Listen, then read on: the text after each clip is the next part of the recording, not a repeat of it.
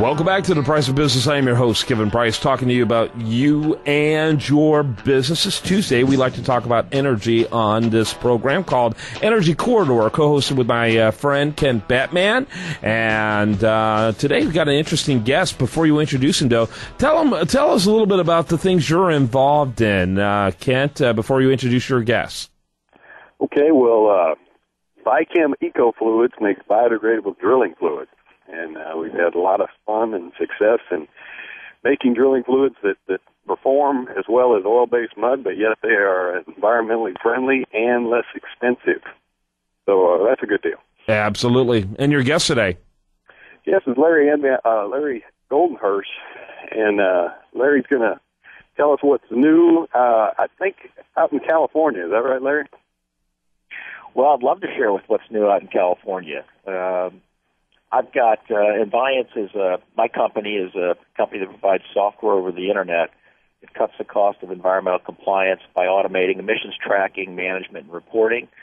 Uh, we're used by many of the large oil and gas companies like Hess, Chevron, Hunt, Continental, 35% of the utility sector, including Luminant in Texas, 35% of the coal sector, including Arch and Patriot and Alliance, and large chemical companies like DuPont and DSM. And how long have you been doing what you're doing, Larry? Uh, we've been in business for 13 years. Very good, Kent. Well, question: How does a, com- a company outside of Texas, because you're, based, you're you're trading carbon credits basically, how does it how does a company outside of California use your service? Well, uh, actually, you know, Kent, we're de- we're deployed in 49 countries uh, around the world, uh, and so apart from trading carbon credits or counting uh, greenhouse gas emissions, Enviance actually automates uh, compliance with air permits like the ones that are issued in Texas and California and around the country, water permits, waste permits. What we really do in the main is compliance management that allows okay. companies to collect all the data that's required by the regulators analyze it against allowable ranges, and do the reporting, and keep the companies in compliance at the lowest possible cost. Okay. All right. Very, very well. Is is there uh, another financial mechanism for some of these companies to, to capture with some of your other clients?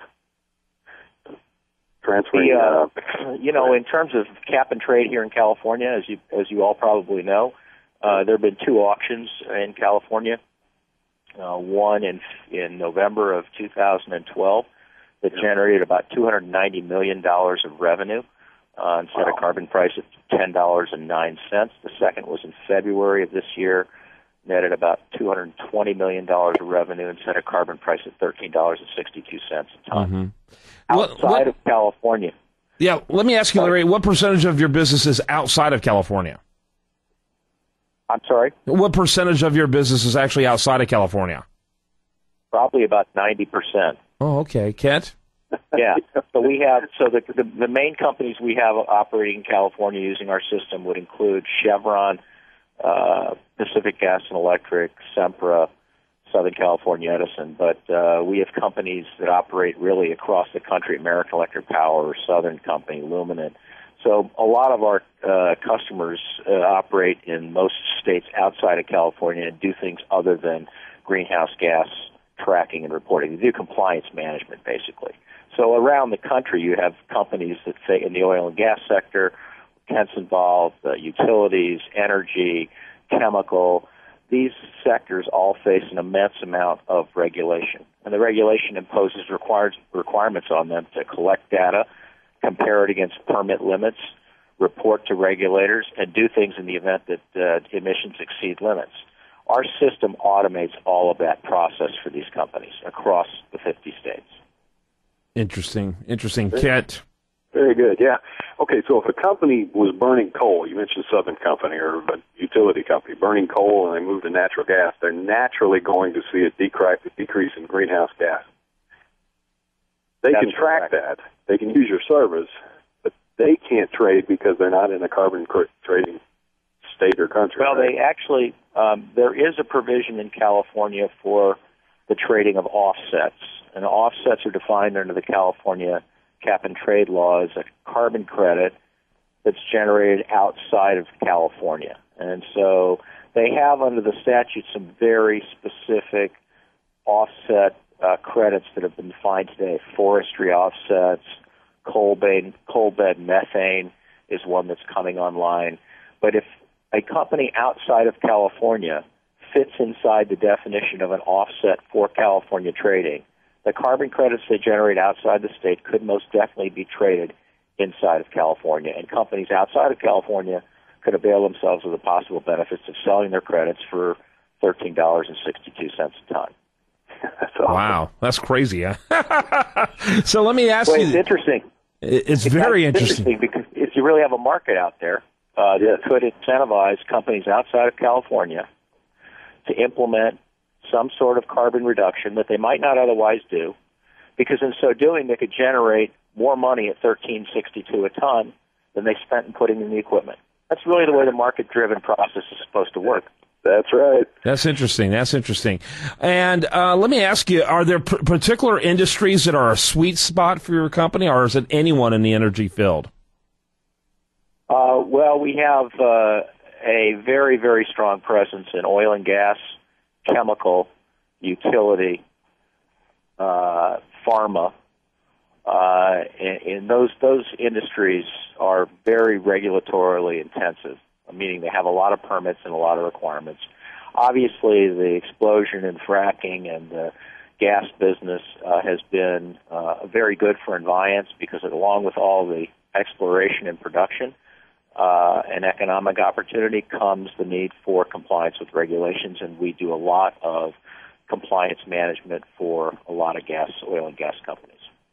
And I would say in the last couple of years, that has been one of the primary drivers for our business.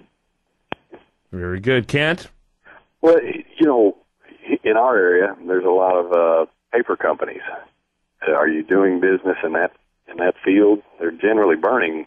We have we have a, we have a couple of we have a couple of paper companies, uh, and um, we've done that work in the past.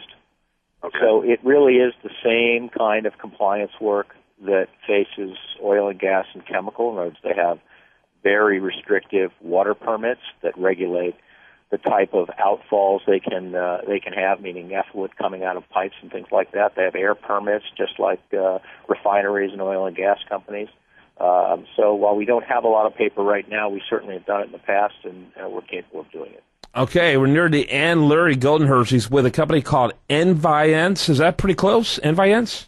That was good. Enviance. Yeah, Yeah, Enviance. All right, there we go. And uh, I, I, I'm, knew that Hooked on Phonics would help me at some point. And then uh, his company, you can learn more about them over at uh, the website, which is E-N-V-I-A-N-C-E dot com, E-N-V-I-A-N-C-E dot com.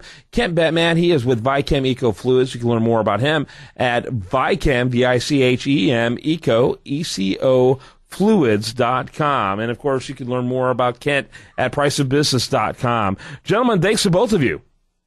Thank you. Thank you very much. Very interesting conversation. Interesting to see uh, how this uh, interesting market uh, apparatus has been developed. Uh, we've had several stories on this, Kent. It'll be interesting to get more on it, get into some depth on how it actually uh, practicably works, but very cool. I thought it was interesting. I'm Kevin Price. When we come back, we'll have more for you. Do you want to remind you the best content here often shows up over there at usdailyreview.com. You're listening to The Price of Business.